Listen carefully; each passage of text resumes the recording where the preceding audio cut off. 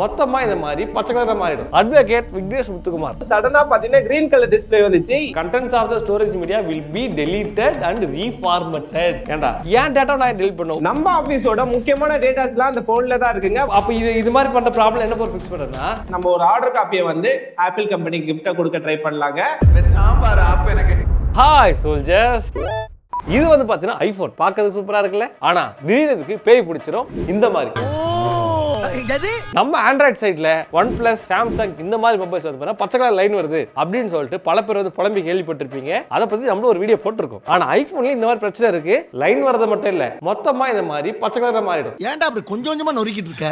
மைக்ரோசாஃப்ட்ல எப்படி blue screen of டெத்தோ இதுல green screen of death இதுக்கப்புறம் ஒண்ணுமே பண்ண முடியாது. அதுலயாவது லைன் மட்டும் தான் வரும். யூஸ் பண்ணிக்கலாம். இதுல ஒண்ணுமே பண்ண முடியாது. ஆண்ட்ராய்ட்ல ப்ராப்ளம் வந்துச்சுன்னா இந்த ப்ராப்ளம் வந்திருக்குன்னு சொல்லிட்டு ஒன் பிளஸ் கழுத்தை பிடிச்சி அப்படியே ரீப்ளேஸ் பண்ணுவாங்க ட்ரை பண்ணுவோம் பப்ளிக்கா ஆனா ஐபோன் யூசர்ஸ் என்ன பண்ணுவாங்கன்னா ஒரு லட்சத்தி முப்பதாயிரம் கொடுத்து வாங்கியிருக்கோம். நாம இதை வந்து சொன்னோம்னா நமக்கு அசிங்கம் ஆப்பிளுக்கு அசிங்கம். அதில் கமுக்கமா வந்து சர்வீஸ் சென்டர்ல போய் முடிச்சிடலாம் இப்படின்னு பார்ப்பாங்க. இந்த பிரச்சனை நம்ம அட்வொகேட் விக்னேஷ் முத்துக்குமார் அவருக்குமே வந்திருக்கு. சோ இந்த போன் வந்து நேத்து நான் யூஸ் பண்ணும்போது சடனா இந்த மாதிரி வந்துச்சுங்க. திடீர்னு ஒரு நாள் எப்பயும் போல யூஸ் பண்ணிட்டே இருந்திருக்காரு. திடீர்னு பார்த்தா பச்சை ஆயிடுச்சு ஏன்னா பச்சை ஆயிடுச்சுன்னு சொல்லிட்டு ஆஃப் பண்ணி போட்டா திருப்பி அதே தான் வருது. என்ன பண்ணாலும் சரியாக மாட்டேங்குது அப்படியே இருக்கு. சரின்னு சொல்லிட்டு சர்வீஸ் சென்டருக்கு போகணும்னு சொல்லி சர்வீஸ் சென்டர் எடுத்துட்டு போயிருக்காரு. முப்பத்தி ரெண்டாயிரம் கொடு அப்படின்னு இருக்கான். இது வந்து தேர்ட்டி தௌசண்ட்ல இருந்து ஃபார்ட்டி தௌசண்ட் ஆகும்னு சொல்லியிருக்காங்க. ஏன்னா இது வாரண்டில இருக்கு. இதுக்கே நான் காசு தரணும்னு இன்னொரு சர்வீஸ் சென்டருக்கு போ அப்படின்னு சொல்லிட்டு அந்த சர்வீஸ் சென்டர்ல போயிட்டு கேட்டா மாத்தி தரோம். ஆனா ஸ்பேர் இப்போதைக்கு இல்ல. ஒரு நாலு நாள் ஆகும். அப்புறம் மாத்தி தரோம்னு இருக்காங்க. அதுக்கு நம்ம விக்னேஷ் முத்துக்கு என்ன சொல்லியிருக்காரு? சரி நாலு நாள் பரவாயில்ல மாத்தி கொடுங்க அப்படின்னு இருக்காரு. ஆனா அதுக்கு இன்னொன்னு சொல்லியிருக்காங்க. அது என்னன்னா உங்களோட டேட்டா மொத்தத்தையும் நாங்களே டெலிட் பண்ணிடுவோம்.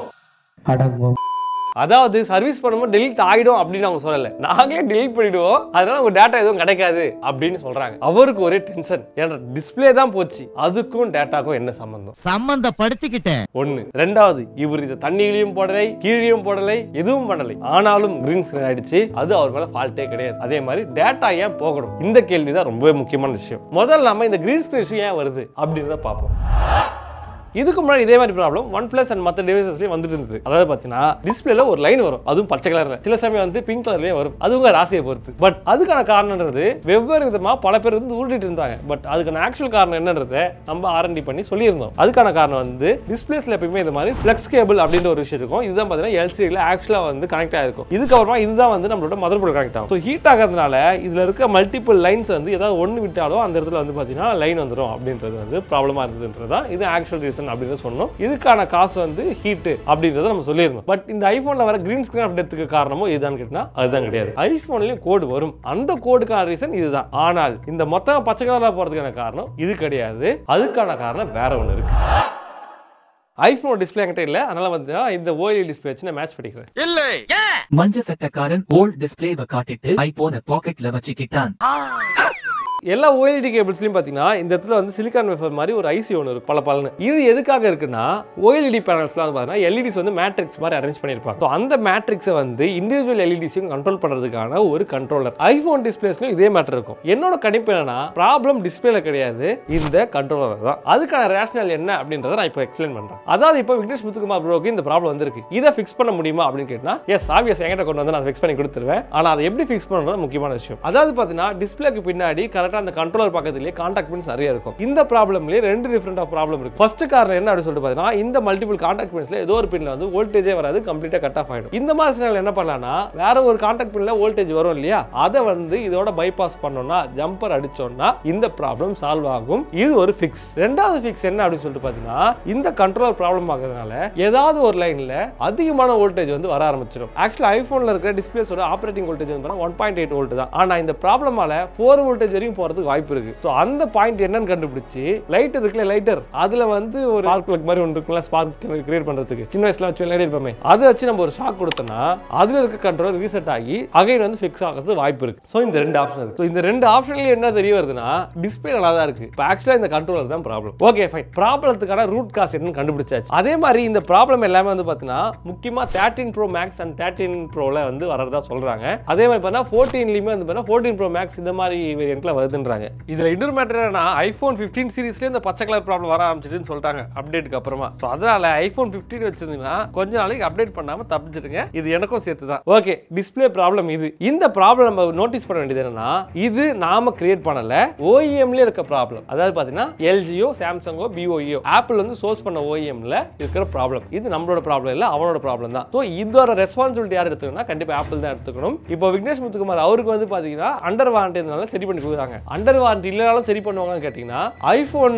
டாப்ஸ்ல ஒர்க் பண்ணுற எனக்கு தெரிஞ்ச நபர் கிட்ட கேட்கும்போது உடனேலாம் சரி பண்ண மாட்டாங்க. நம்ம ரெண்டு மூணு தடவை வந்து ஃபோன் பண்ணி ஃபோன் பண்ணி பேசி அப்புறம் தான் சரி பண்ணுவாங்கன்னு சொல்கிறாங்க பட் இதுக்கு ப்ராப்பராக வந்து கொடுத்தாலே சரி பண்ணுறாங்களா அப்படின்ற டேட்டா வந்து எனக்கு கிடைக்கல. அந்த மாதிரி எங்கேயும் நான் பார்க்கவும் இல்லை. பட் கேட்டால் பண்ணி தராங்க. ஆனால் அதுக்கு நம்ம வந்து அலையணும் கெஞ்சணும் கேட்கணும். ஃபோன் பண்ணி ஃபோன் பண்ணி. இது உங்களால் தான் வந்துச்சு உங்களால் தான் வந்துச்சுன்னு சொல்லிட்டு. ஆக்சுவலாக அது நான் அவங்களால தான் வந்துச்சு அப்படின்றத நம்ம ப்ரூவ் பண்ணோம் அவங்க கிட்ட ப்ரூவ் பண்ண மட்டும் பண்ணி தருவாங்க. இல்லை பண்ணி தர மாட்டாங்க. இதுவுமே ஓகே ஒரு பக்கம் விட்டுருவோம் இதுக்கப்புறம் முக்கியமான ஒரு ப்ராப்ளம் இருக்குது இருக்கு. இதுதான் வந்து என்னோட வன்மத்தின் குரல். இந்த உரிமை குரல் தூக்கம் இல்லை இது வன்ம குரல். என் வன்மம் என் உரிமை. அதாவது பாத்தீங்கன்னா நம்ம Vignesh Muthukumar bro service centre கொடுக்கும்போது உங்க டேட்டாவெல்லாம் டெலிட் ஆயிடும் அப்படின்ற மாதிரி சொல்லியிருக்காங்க. வாரண்டி கிளைம் பண்ணனும்னா உங்க டேட்டாஸ் எல்லாமே நான் டெலீட் பண்ணிடுவோம். வேணும்னே டெலீட் பண்ணிடுவோம் சொல்ற மாதிரி தான் சொல்றாங்க. ஆக்சுவலா ப்ராப்ளம் டிஸ்பிளேல தான். இந்த போன் எடுத்தீங்கன்னா டிஸ்பிளேன்றது ஜஸ்ட் உள்ள இருக்க என்ன டேட்டான்றது நம்ம காட்டுறதுக்கான ஒரு அவுட்புட் மீடியம் தான். சின்ன வயசுல படிச்சிருப்பல எல்கேஜி யூகேஜில இன்புட் டிவைஸ் அவுட்புட் டிவைஸ் அப்படின்னு சொல்லிட்டு டிஸ்பிளேன்றது ஒரு அவுட்புட் டிவைஸ் தான். உள்ள இருக்க கண்டென்ட்டுக்கும் அதுக்கு சம்மந்தம் கிடையாது. இது எப்படி இருக்குன்னா அந்த ஆட்டோ இது கண்ணாடி திருப்பினா வந்து வண்டி ஓடாதுன்ற மாதிரி கதை இது.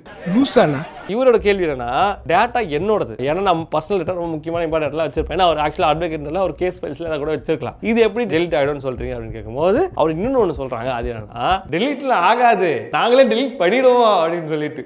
கம்மா இங்க தான் இன்னும் டென்ஷன் ஆகி மனுஷன் வந்து எனக்கு கால் பண்ணார் ஆக்சுவலா இந்த மாதிரி ப்ரோ சொல்றாங்க ப்ரோ அப்படின்னு சொல்லிட்டு. என்ன கொடுமை பார்த்தடா? இத பத்தி நிச்சயம் கம்ப்ளைண்ட் கொடுத்தாகணும். ஸோ இந்த டைம்ல தான் இன்னும் இரிட்டேட் ஆகி அவர் இரிட்டேட் ஆகி எனக்கு ஃபோன் பண்ணி என்ன இரிட்டேட் ஆக்கி விட்டாரு. ஸோ அப்புறம் வந்து பார்த்தீங்கன்னா ஆப்பிளோட வாரண்டி லீகல் டாக்குமெண்ட்டை படிச்சு பார்த்தா தான் தெரியுது.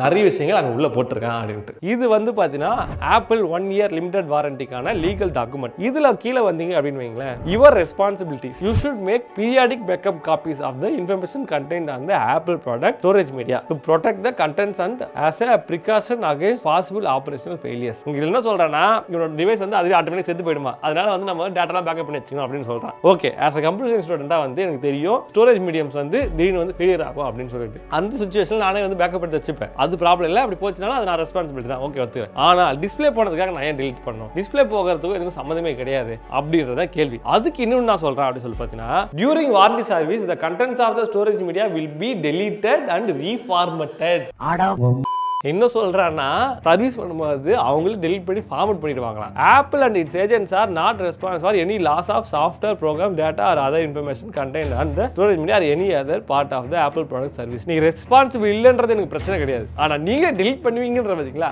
அதை மட்டும் என்னால மன்னிக்கவே முடியாதுடா. அதான் எனக்கு பிரச்சனை. Before submitting your Apple product for warranty service you should maintain a separate backup copy of the content of it storage media remove all personal information that you want to protect and disable all security passwords அதான் என்ன சொல்றேன்னா நம்ம phone கொடுக்கறதுக்கு முன்னாடி எல்லா data backup பண்ணி வச்சுக்கிறோமா அப்புறம் வந்து பாஸ்வேர்ட் அதை போட்டு அதை ரிமூவ் பண்ணிட்டு கொடுக்கணும் அப்படின்னு சொல்லி சொல்றேன். அதுவுமே எனக்கு ஓகே கிடையாது. பட் சம் வாட் ஓகேன்னு வச்சுங்க. ஏ- ஏன்னா எனக்கு வந்து பாசிபிலிட்டி இருக்கு. என்னால் வந்து பேக்கப் எடுக்க முடியும் என்னால் வந்து பண்ண முடியும்ட்டு ஆக்சுவலி இங்கே ப்ராப்ளம்ன்றது கஸ்டமரோடது கிடையாது. அதை பார்த்தீங்கன்னா விக்னேஷ் முத்துக்குமார் அவரோட ப்ராப்ளம் இல்லை. அவர் வந்து எதுவுமே பண்ணல போனை அதுவே ஆட்டோமேட்டிக்காக தான் போயிருக்கு. அதை பார்த்தா அப்டேட் பண்ணும்போது சில சமயம் போயிடுதுன்றாங்க. இல்லை ரேண்டமாகவே எப்போனா போகுதுன்னு சொல்றாங்க. இந்த கிரீன் ஸ்கிரீன் ப்ராப்ளம் ஸோ அப்படின்னும் போது ப்ராப்ளம் யாரோடது ஆப்பிளோடது அண்ட் இங்கே இன்னொரு ப்ராப்ளம் என்ன அப்படின்னு சொல்லிட்டு பார்த்தீங்கன்னா இங்கே எனக்கு பாசிபிலிட்டி இல்லை. எனக்கு வந்து வாய்ப்பு கிடையாது. எதுக்குன்னா டேட்டா வேணா பேக்கப் பண்றதுக்கு. நான் வந்து யூஸ் பண்ணிட்டே இருக்கும்போது திடீர்னு போயிடுச்சுன்னா எப்படி நான் பேக்கப் பண்ண முடியும்? இப்போ டிஸ்பிளே அவுட் நான் எப்படி நான் டேட்டா காப்பி பண்ண முடியும்? இதில் இன்னொரு மேட்டர் என்ன நம்ம நார்மல் இது நீயாவது பரவாயில்ல. எம்டிபி ப்ரோட்டோகால் ஒன்று சப்போர்ட் பண்ணு. எல்லா Android டிவைஸ்ல M T P protocol work ஆகும். எடுத்து கனெக்ட் பண்ணா பீஸ்ல இருந்து அப்படியே காப்பி பண்ணிக்கலாம். இவன்ல காப்பி பண்ணோம்னா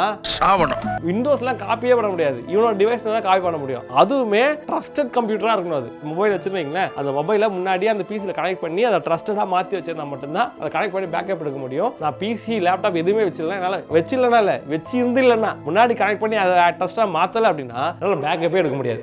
சோழி முடிச்சு. இதுல ஆப்பிள் ஃபேன் பாய்ஸ் நிறைய பேர் சொல்ற விஷயம் ப்ரோ செக்யூரிட்டி ப்ரோ உங்களோட டேட்டா வந்து லீக் ஆக கூடாது அதனால நீங்க delete பண்ணிட்டு கொடுங்க அப்படின்னு சொல்லி சொல்றாங்க அப்படின்னு. Delete பண்ணிட்டு கொடுங்கன்னு சொல்ல நியாயம். Delete பண்ணிடுவேன்றது எனக்கு பிரச்சனை. சரி ஓகே delete பண்றேன்னு சொல்றீங்க. எதுனாலும் கேட்டா அதுதான். ஆப்பிள் எம்ப்ளாயிஸ் யாராவது வந்து எடுத்துட்டாங்க யாராவது திருட்டாங்க அப்படின்னு சொல்லி சொன்னீங்கன்னா அண்ணன் எடுத்துக்கிட்டேன். ஏன்டா உன்னோட எம்ப்ளாயியை திருடாம பாத்துக்கிறது உன் வேலை. கரெக்டா ஏன் டேட்டா நான் delete பண்ணும் உன் எம்ப்ளாய் நீ ஒழுங்கா பார்த்தனா என் டேட்டா டெலிட் பண்ண தேவையில்ல ஸோ ப்ராப்ளம் நீ ஃபிக்ஸ் பண்ணது. உன்னோட எம்ப்ளாயி கிட்ட டேட்டா திருட முடியாத மாதிரி அது மாதிரி வச்சிருந்தனா ப்ராப்ளம் கிடையாது. எங்களை வந்து இது பண்ண சொன்னா எப்படி? எங்களோட டேட்டா டெலிட் பண்ண எப்படி? ஏய் பதில் சொல்லு. ஆக்சுவலாக இந்த பாலிசி எல்லாம் ரெண்டாயிரத்தி பதினாறுக்கு அப்புறம் தான் ஆப்பிள் கார் கொண்டு வந்திருக்கா அப்படின்ற ஒரு தகவல் இருக்கு. அது என்னன்னா ரெண்டாயிரத்தி பதினாறுல கலிஃபோர்னியாவில் இருக்கிற ஆப்பிளோட ரிப்பேர் சர்வீஸ் சென்டர்ல ஒரு இருபத்தி ஒரு வயசு பொண்ணோட ஐபோன்ல இருக்க டேட்டாவெல்லாம் அதாவது அந்தரங்க டேட்டாவெல்லாம் ஆப்பிளோட எம்ப்ளாயியே வெளியே பரவிட்டு இருக்கா அப்படி? அதுக்கு அந்த பொண்ணு கோர்ட்ல கேஸை போட்டு கிட்டத்தட்ட ஃபைவ் மில்லியன் வரைக்கும் காசு வாங்கியிருக்கு அப்படின்றது தகவல். இவனோட எம்ப்ளாயி டேட்டாவை திருடி வெளியே விட்டதுக்கு நம்மளோட டேட்டாவை எதுக்கு இவன் டெலீட் பண்ணணும்?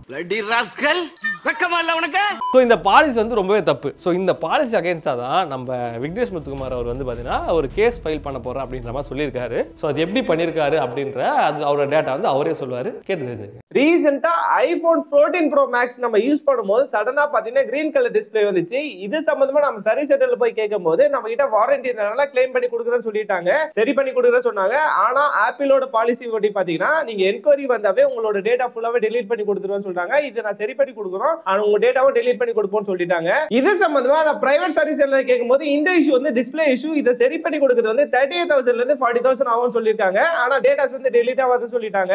நான் சர்வீஸ் சென்டர்ல கொடுத்தது வந்து போன ஃப்ரைடேங்க இந்த வீடியோ எடுக்கிற வரைக்கும் எனக்கு வந்து அந்த போன் கையில கிடைக்கலங்க.